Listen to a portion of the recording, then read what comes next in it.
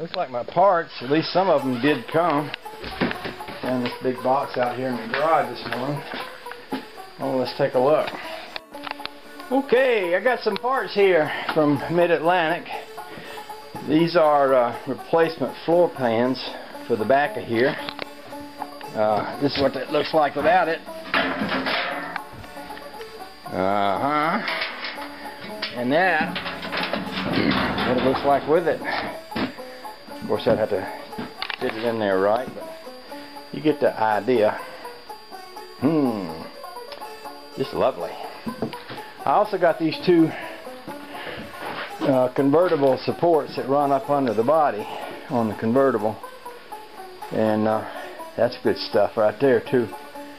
Uh, my thinking was I was going to go out there and slam them on that uh, red body that before I got to looking closer at that rust on the back of it and now I'm rethinking that a little bit.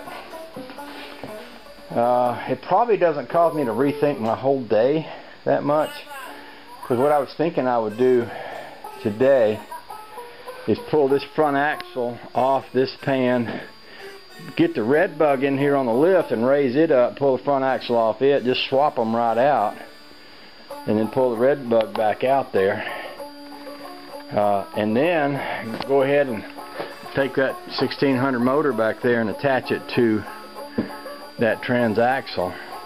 That way I can begin to look at the uh, and, and, go ahead and take those new wheels and tires off the Redbug and put them on this one.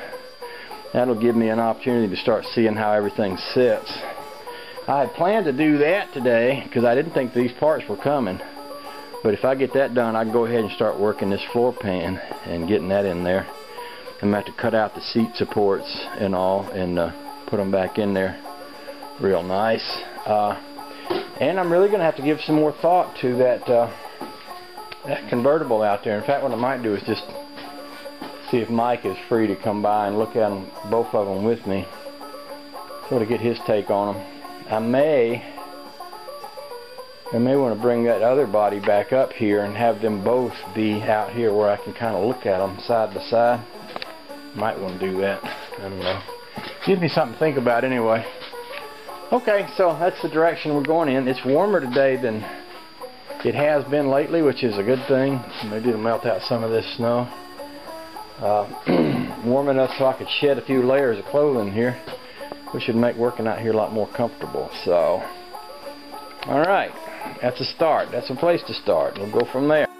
Well, I decided that my curiosity was just going to get the better of me, and I wouldn't be able to rest unless I had a look up under that. So what I'm going to do is, I hooked that to the Jeep. I'm going to pull it down in front of the garage. I'm going to roll this body off of here. I'll probably put something on the ground for it to lay on. That way I can get up under the side of it and just look at how that looks from underneath.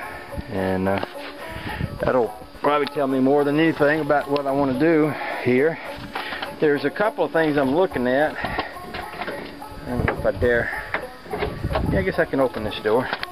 Not only am I looking at that rust there, but I'm looking at this, which is, it's not horrible, it's fixable here, I guess. And this back here is just heater pipes. I guess that ain't too bad. I guess the real concern is just that spot right there.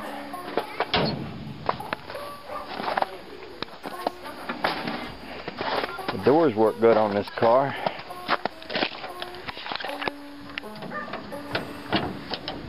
Nice and slick.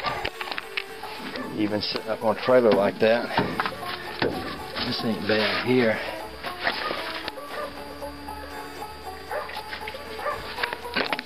Part right here is.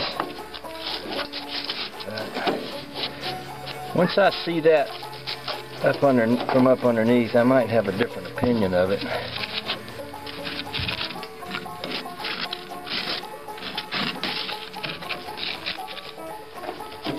That's the point where this heater channel thing goes to right there which that part ain't too ain't, ain't that important it's the strength of the rest of this that matters more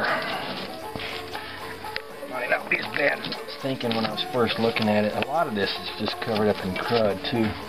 And I'll go roll that off the trailer. Look at it from underneath. I like the way these doors work on this thing. That's that's pretty good right there.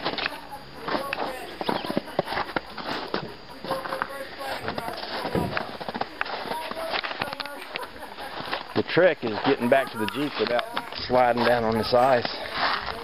This stuff is some slippery, I can tell you. Yes, it is.